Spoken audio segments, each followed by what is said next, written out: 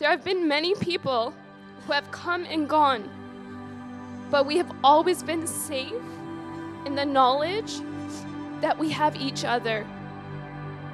Even though we are sisters purely by chance, she's my best friend by choice. I still remember the day my parents brought home Aisha from the hospital.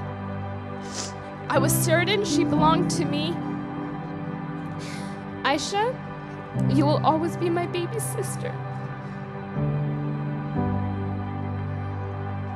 My best friend, my other half. But Today, you have gained a new half. The last year and a half, you've been the happiest I've ever seen you. And I would like to say thank you to you, Jeff,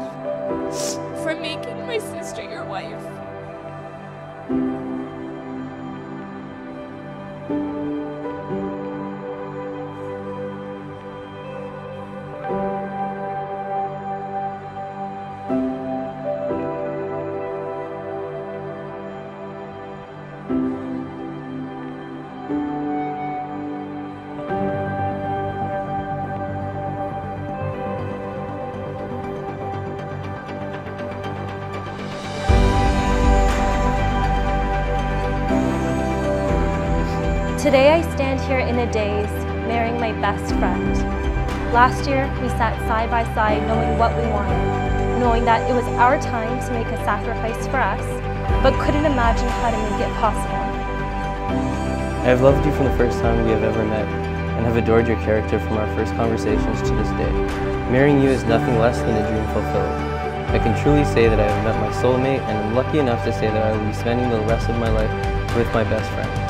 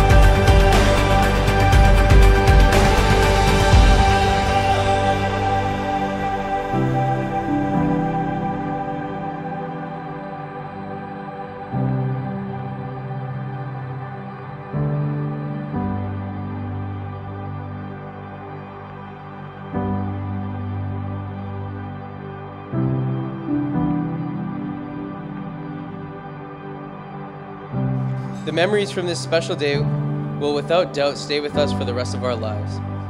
We're just so blessed to have good people in our lives, and we're just very happy to spend this moment with you. Thank you all so much.